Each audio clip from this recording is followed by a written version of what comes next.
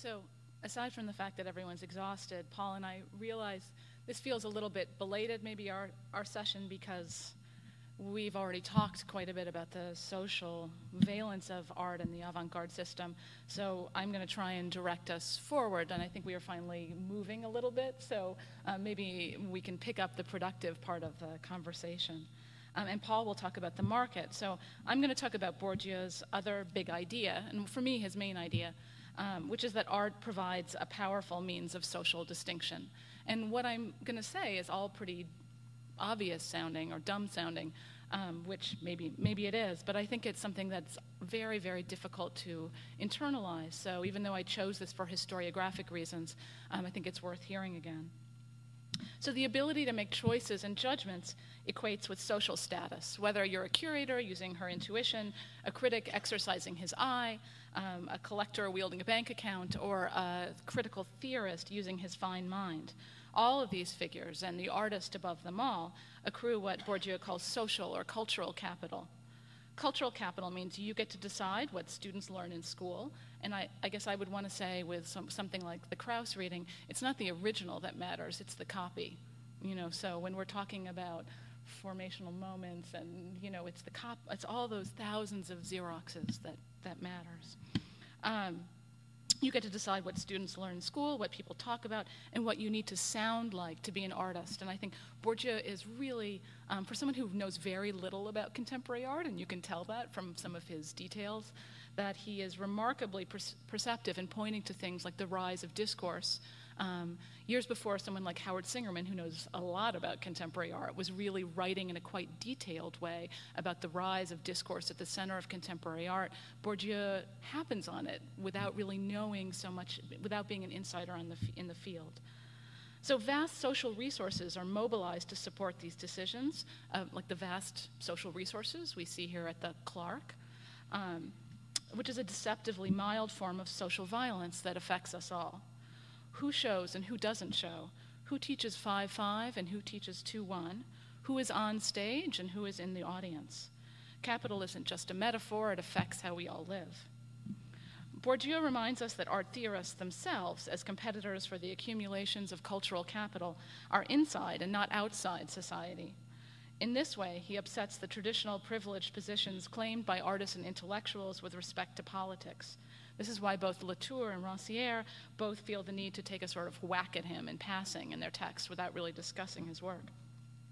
He shows that criticality is itself part of the art ideology, increasingly necessary and homologous to that of avant garde art, which is why I would want to start to replace the term criticality with doubt. I've been hoping that it would trouble that a little bit. He is not saying, however, that art is a bankrupt exercise, like Debord or other people who sort of go to that extreme, rather that its actual functioning is misrecognized. Bourdieu demands a radical reorient- reorientation. For me, reading this particular essay, and even more his book Distinction, was the closest I've ever come to a revelatory or religious experience, a psychedelic turning of the world on its head. The revelation is in part a more objective under my own personal experience in the field, the ways that various forms of knowledge and work are valued, and I recommend to all graduate students to read Distinction um, as well as The Poverty of Student Life for, to, to help and analyze their own experiences. But the other mind opening and equally liberate, liberatory aspect of the text for me is his take on history, which is, I think, the thing that, not the thing that most people are interested in with um, with Bourdieu, and I hope the thing that could be productive moving forward. Bourdieu reframes the apparent history of seemingly successive avant garde movements, each one criticizing the previous understanding of art. This understanding obtains both in modernism and postmodernism as one of competing positions. His view is supported by the simple fact that many of these putative mo- movements, abex, pop, and minimalism, for example, coexisted. It also recasts the potted history um, that, is replant, that has representation supplanted by abstraction, um, which structures even the sophisticated critical accounts we read for today. And I would say one of the things to think about when we're thinking about history and criticism together, and I said last night, and I'll say it again, I don't want to re. Um, reawaken that opposition between them, but is to think if your history is bad, can your theory be good?